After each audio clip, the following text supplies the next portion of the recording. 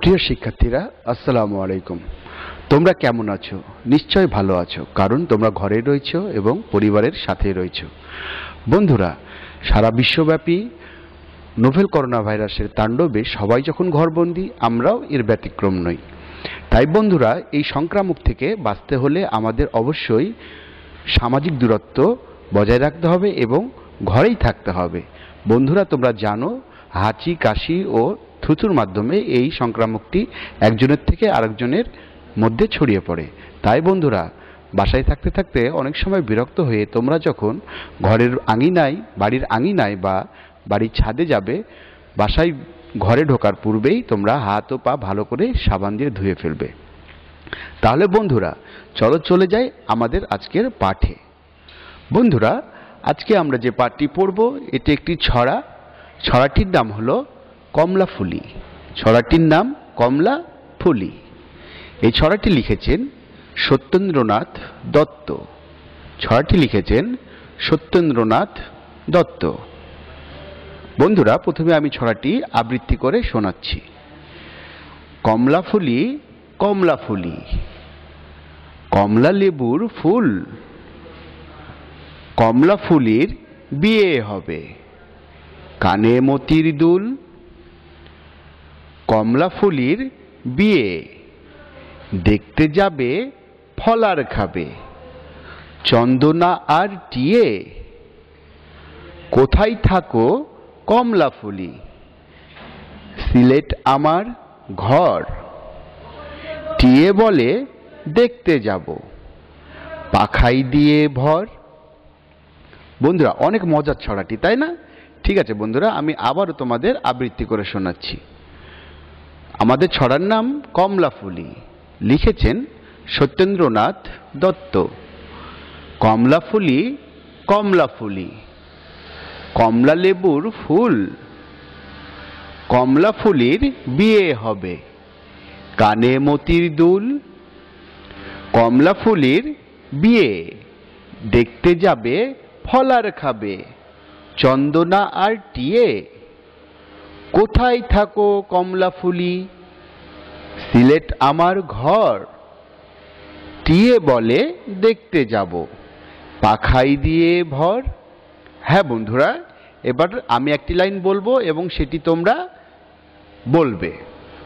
আমাদের ছড়ার নাম কমলা ফুলি লিখেছেন সত্যেন্দ্রনাথ দত্ত। ভেরি গুড কমলা ফুলি কমলা ফুলি কমলা লেবুর ফুল। কমলা ফুলির বিয়ে হবে। কানে মতির দুল, কমলা ফুলির বিয়ে। দেখতে যাবে, ফলার খাবে। চন্দনা আর টিয়ে কোথায় থাকো কমলা ফুলি? সিলেট আমার ঘর। টিয়ে বলে, দেখতে যাব। পাখাই দিয়ে ভর। ভেরি গুড বন্ধুরা, অনেক সুন্দর বলেছ। আরও একবার আমরা মুখে মুখে বলব, ঠিক আছে? আমাদের ছড়ার নাম কমলা ফুলি। লিখেছেন সত্যেন্দ্রনাথ দত্ত। কমলা ফুলি কমলা ফুলি। কমলা লেবুর ফুল। কমলা ফুলির বিয়ে হবে। কানে মতির দুল। কমলা ফুলির বিয়ে। দেখতে যাবে ফলার খাবে। চন্দনা আর টিয়ে। কোথায় থাকো কমলা ফুলি? সিলেট আমার ঘর। টিয়ে বলে, দেখতে যাব। পাখাই দিয়ে ভর। ভেরি গুড বন্ধুরা, তোমরা অনেক সুন্দর বলেছ।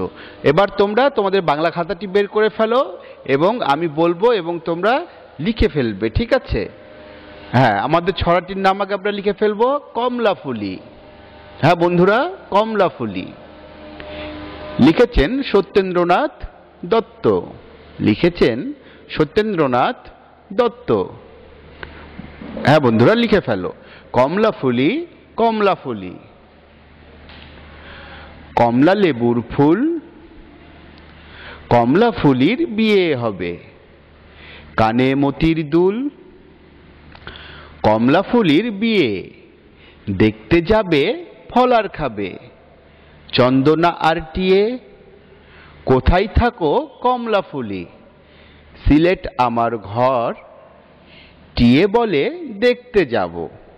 পাখাই দিয়ে ভর। ভেরি গুড বন্ধুরা, তোমরা সুন্দর লিখছো।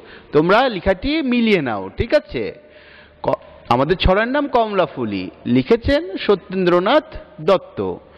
কমলাফুলি কমলাফুলি কমলা লেবুর ফুল কমলাফুলির বিয়ে হবে। কানে মতির দুল কমলাফুলির বিয়ে। দেখতে যাবে, ফল আর খাবে, চন্দনা আর টিয়ে। কোথায় থাকো কমলাফুলি সিলেট আমার ঘর। টিয়ে বলে দেখতে যাব। পাখাই দিয়ে ভর। হ্যাঁ বন্ধুরা, ও তুমি ঠিক আছে, আরেকবার মিলিয়ে নেবে। আচ্ছা ঠিক আছে, তোমরা আরেকবার মিলিয়ে নাও। আমাদের ছড়াটির নাম কমলাফুলি, লিখেছেন সত্যেন্দ্রনাথ দত্ত। কমলাফুলি কমলাফুলি কমলা লেবুর ফুল, কমলাফুলির বিয়ে হবে। কানে মতির দুল, কমলাফুলির বিয়ে, দেখতে যাবে? ফল আর খাবে। চন্দনা আর টিয়ে, কোথায় থাকো কমলাফুলি সিলেট আমার ঘর, টিয়ে বলে দেখতে যাব। পাখাই দিয়ে ভর।